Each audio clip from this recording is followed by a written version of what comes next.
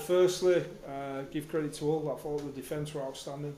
Uh, I thought, you know, definitely how they defended the try out, uh, try line, especially at the end of that first half. I thought, you know, you could see how, how much they showed up for one another. Uh, in terms of us, uh, we come back to that key word again, which is composure. Uh, even though we were 6 0 down at half time, you know, we felt that uh, if we kept his composure and we did what we'd done at the back end of that first half, that, you know, they'd crack um, and we'd get some joy. But unfortunately for us, it, uh, it was us that cracked first, and, um, you know, credit to all for that one. On, on that sort of word composure, is, Yeah. it, is it moments like in that second half where you've got Hull in their own 20, give away a couple of penalties, just remove Yeah. that pressure, and, and a couple of times they went and scored off the back of those. Yeah, I think I think that would, I think that key one for me was was, was that one at half time because we just started getting you know into the groove of the game and um, you know start that second half when we give them two penalties and then I think we switched off at you know a marker and they came straight through us. It just seemed to switch the whole momentum of the game. So yeah, that's that, that's pretty much what I mean by that composure, just having that clinicalness about us and that you know that coolness in under them situations. So um, you know it's a frustrating one, but um, we we were his own worst enemy tonight in that sense. We can't blame anyone but ourselves for you know what what we've got. On a single standard point as, as well, that, that execution, particularly on sort of last plays, I know they, they sort of showed you on, on the screen a couple of times, you Yeah. looked frustrated with, I think there was a, a kick that was just too heavy and went dead. Yeah. Um, I think we lost the ball on, on the first, someone offload, Offload, yeah. to, to Hull. Is frustration the key word in terms of your, your emotions when you've got players like that? Yeah, I think I think it wasn't at the players themselves. It was the uh, the key word we spoke about half time was having that composure. Now they're two examples of not keeping your composure. So as a team, that you know that that's the frustrating part because they're not doing it because um, they're doing it because they're trying too hard. You know that's that's the thing with it all. So it's just getting that composure and making sure you're doing it as a team and as a unit. And you know I'm not knocking them for trying it. You know it, it's more the frustration that we haven't got that composure in his uh, in his attack just yet. As, as you mentioned there, there's no lack of effort. Is that one big aspect of your performances that you are keeping a hold of, that the effort is, is absolutely still there? Listen, they're showing up for one another and they're showing up showing up for me in that sense. Um, yeah, effort should be there every week in terms of what we want to be about as a team. Um, but yeah, I've just said said in the dressing room there, it's it's um, it's frustrating, very frustrating because you've just just said it. The effort's there, but it's not enough. You know, we've got to get get them other ingredients into the pot and make sure they're uh, you know they're cooking as well, haven't we? It's probably a question you, become tired of, of Yeah. hearing, but how do you, what, what do you say to them after Yeah. these games when the, the loss is still there, even though you are seeing positives? Um, it's a good question, and, and sometimes you'll reiterate yourself. You know, there's other games where, um, you know, there's some pretty obvious examples. There were a couple of obvious examples today, such as as that one you said. Well, I think the the key to it is uh, knowing what to say and when to say it. Uh, you know, you I probably sound like a broken record to, to our fans and, and people that read the you know the media, but um, you've just got to be honest with one another, and I mean brutally honest. And then if people aren't learning the lessons, and it's up to me as coach to, to make sure I remedy that by team selection. And you know, ultimately, you, that's how you get out of these situations. That you've got to have faith, that pressure on performance in terms of competition for places, which we're now getting back, and then you've got to be able to, you know, to perform when when it matters. And we're just lacking a little bit of a bit of that at the moment in terms of that composure that I keep on going on about. Just on that competition place as well, Yeah. or just, a couple of individuals. Yeah. Um, Tom Lineham back Yes. today, um, he seems his side a lot when you're in defence, but at the same time he was, he, he seemed like your main outlet for, for last tackle kicks in particular. How do you think he I thought, yeah, Tom overall had a good game. I know he came up with a defensive misread for their first try, uh, and he was the first one to put his hand up at half time. And he, and uh, you know, once he worked it out, he sorted that. I thought, um, you know, to say had a, a prolonged period out, he he will. He, he went okay, did Tom? You know, and as you said, he, he looked dangerous on a few things that he did, and uh, they did send a lot of traffic down that right edge as we knew we were going to be coming. You know, because they have been preferring to attack to their left.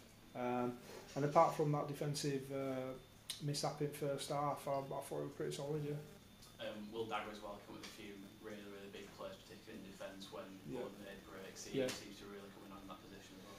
Yeah, we just needed some some games, and you know, uh, we needed a, a fullback. For he had a good game last week, and I thought he, he's you know he's shown up today. There's a few areas we, we need to work on with Will, but he's willing to put his hand up and and you know and, and say that and.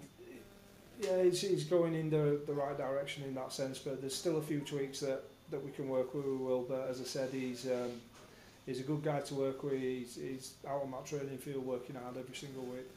And just finally from me, um, Tony Smith was just talking about, as a coach who's been in a similar position to you, Yeah. on the back of a, a run of losses, how when he went through it, he, probably the biggest learning experience of his career.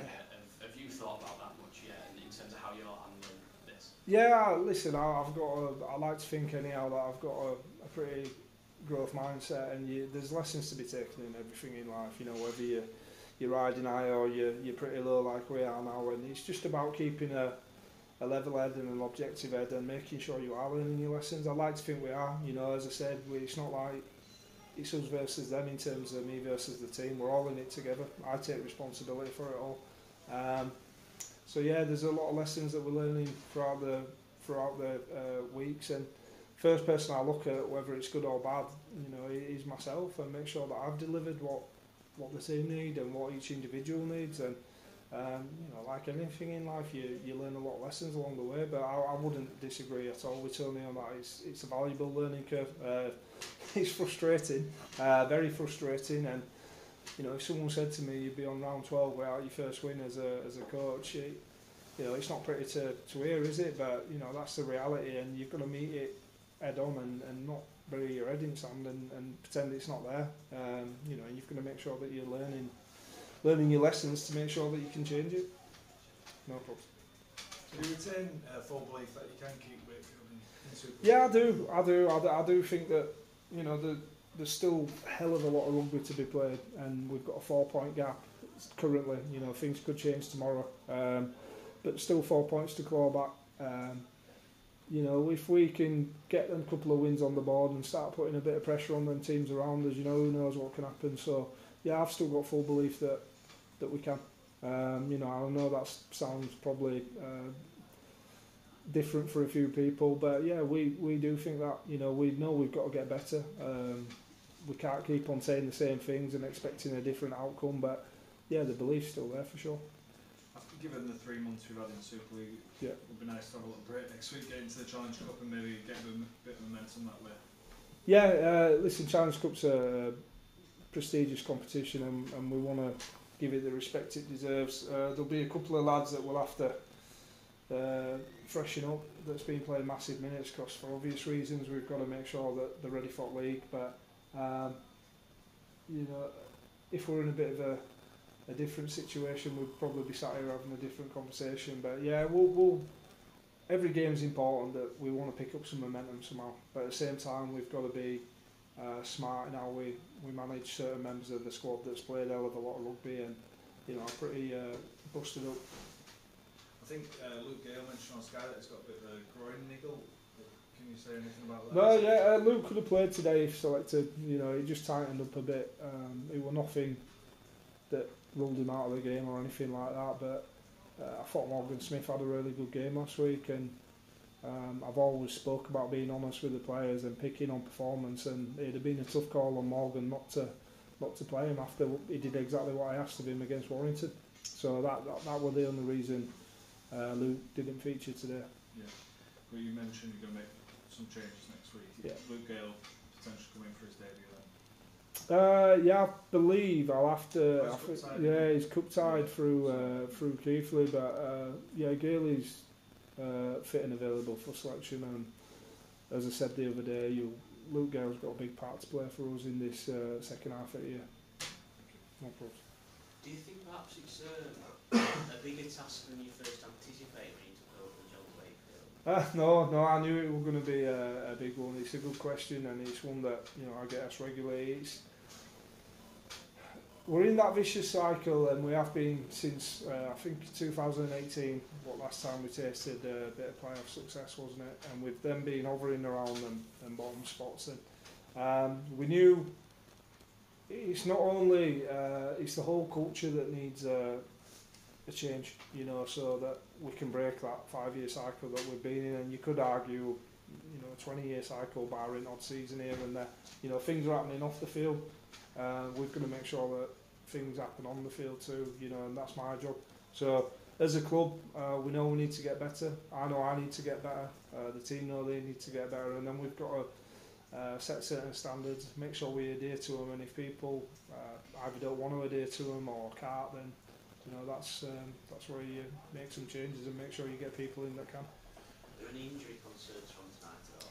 Yeah, we got a couple. Um, uh, Lange did his uh, ankle in that first half when he went down. He, he looks pretty sore, uh, so I'm not sure what he's going to be like yet. He'll get assessed in morning. Uh, Jay Pitts again, he, he did his ankle, so he's um, he's going to have a look in morning. And then Matty Ashurst's got a, a, a compound fracture of his finger. Uh, that's why he stayed down, and he just shows you what some lads are playing through. He just popped it back in, and he's on his way to hospital now to get it reset. Uh, so I'm not sure. Knowing Tash he'll put his hand up and say, "Yeah, put me straight back in." Um, and then there's a, there's a few bumps and bruises after that, but uh, you know that that's that's not the reason we lost tonight. It's it's just part and parcel of sport at this level, isn't it?